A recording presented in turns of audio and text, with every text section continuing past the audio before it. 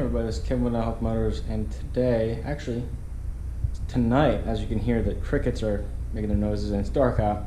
Um, I just want to make a quick video. I found something wrong with my tire, and uh, I've been noticing this noise coming from my tire, almost like a, a rock was stuck in it, or maybe a nail.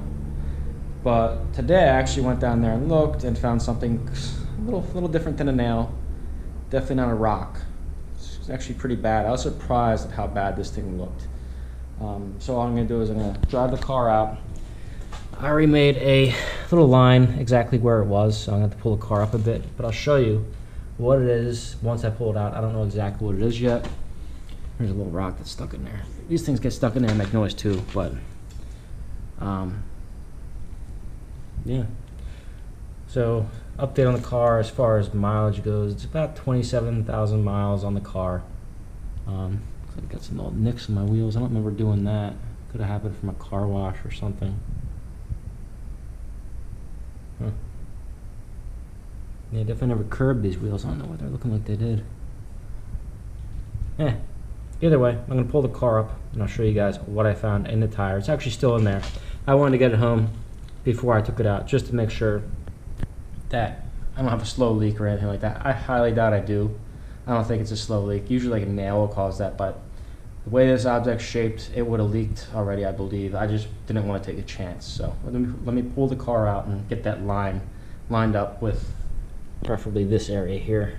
Take off the drive forward about maybe like a foot and a half.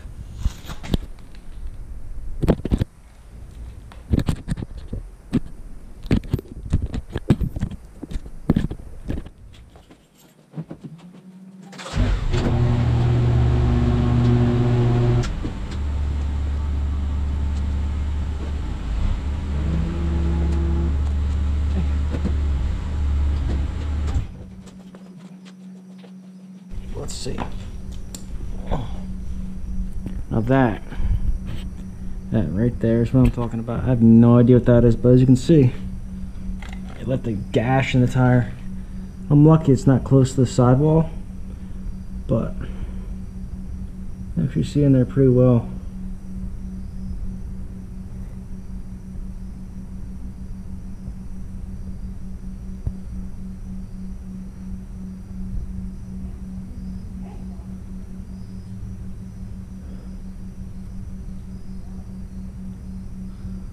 Alright.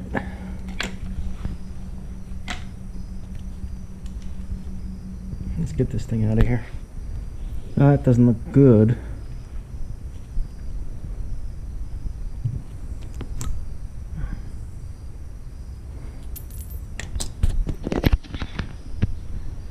Nothing. Tire holds a lot of rocks.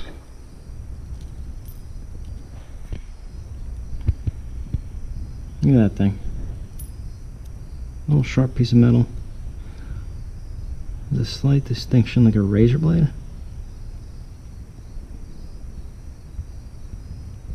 Huh. Like a miniature razor blade. looks like a box cutter. Something that was rusted a little bit. Definitely like a rusted piece of metal because you can see the, it's kind of an une- uneven surface or it was just beat up so much. But yeah, this is what caused that slash in the tire. I want to look inside there a little bit. Let's see. Ah, blind by light.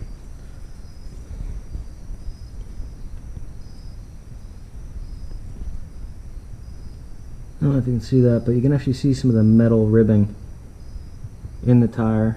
So that's a really deep cut, and that's the only reason it didn't go all the way through is because the metal ribbing. If it hit any other kind of angle, it would have like went straight through that thing. So I'm gonna have to see if this is safe or not to drive on. I might have to find a replacement tire, a used replacement tire somewhere. Let's see what the car looks like. It's a bit dirty, but you know it's daily driven. Got some rust already on the subframe. But you know, gets the job done. It's actually the first time I looked underneath this car.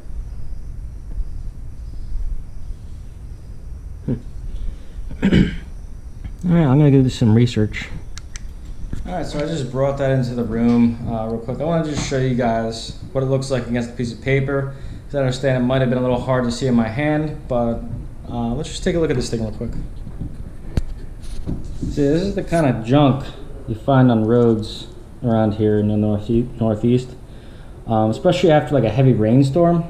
This stuff could get like washed washed out of its little area it's hiding in and go near an intersection or somewhere it's it's really low.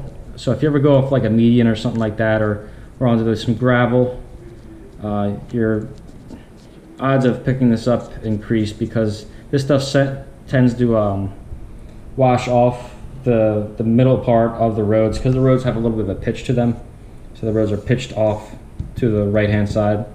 So that's why you don't want to you know go around somebody aggressively because you can pick this stuff up a lot easier. Um, and you know it is just like a random occurrence. Uh, you can't really think too much about it just because there is junk in the road. There's always junk in the road. I've seen like pieces of plywood in the road, glass. Glass isn't that big of a deal, even though it can still get through your tire if it's done right.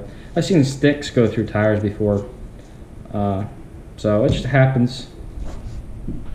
So if you guys enjoyed the content and my little cut tire, I'd appreciate if you actually follow the channel and comment. Let me know what you've found in your tires in the past. I've actually found a full rock in my old tire on the Mustang with the R compounds. It was a full rock, like an actual pebble, embedded into the tire, and I had to dig it out. I was like, what? The whole rock was in the tire? But, you know, it's just, that's what happens when you have a car. So, hope you guys have a great day. Hope you guys don't get stuck with a big cut in your tire like I did. And thanks for watching.